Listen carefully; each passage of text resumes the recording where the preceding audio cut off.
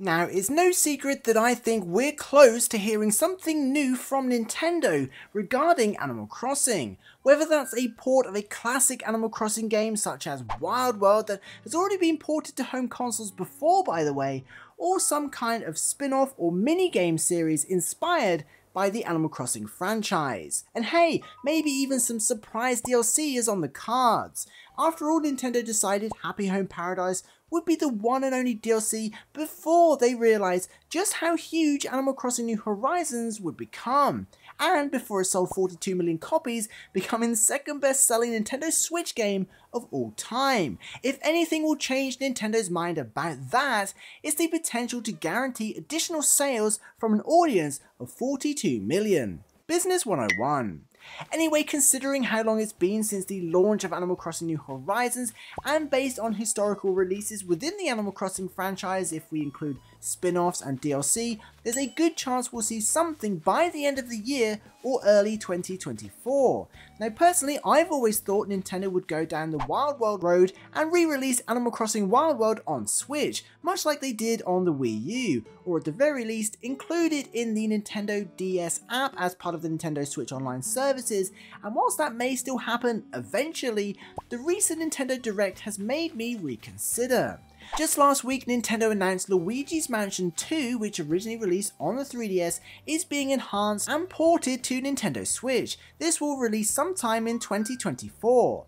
And I'm sure you can see where I'm going with this. This is excellent news for Animal Crossing and now improves the chances of seeing an enhanced port of Animal Crossing New Leaf come to Switch.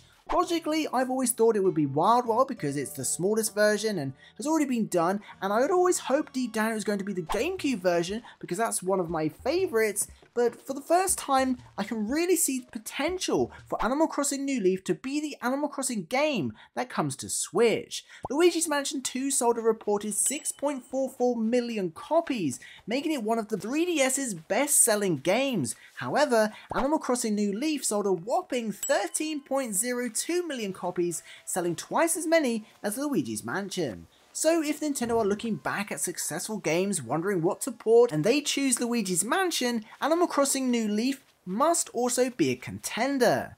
And if nothing else, this reiterates that Nintendo are more than happy to rework Nintendo 3DS games to work with Nintendo Switch and merge the dual screens down to a single screen. Nintendo demonstrates this in the Luigi's Mansion trailer again, showing the map on the 3DS's lower touchscreen over the top of the main screen. They could literally do the same with New Leaf, bringing our pockets on top of the game and hiding it or enlarging it as and when it's needed. Nintendo have released and remastered a bunch of games for the Switch in the past, especially if you consider Nintendo Switch Online, but seeing Luigi's Mansion port from 3DS to Switch in the latest Nintendo Direct once again proves Nintendo are considering these types of releases.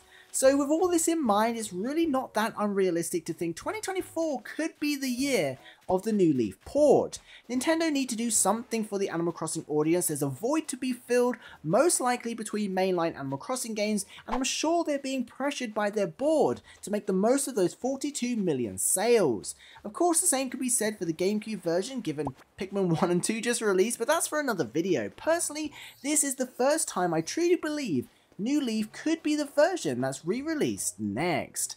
But what do you think? Could Nintendo already be enhancing Animal Crossing New Leaf for a Switch release? Would you play it, or would you rather a new Animal Crossing minigame instead? Let us know your thoughts in the comments below. Thank you so much for watching, and if you want to learn more about the events taking place in New Horizons in July, be sure to check out this next video.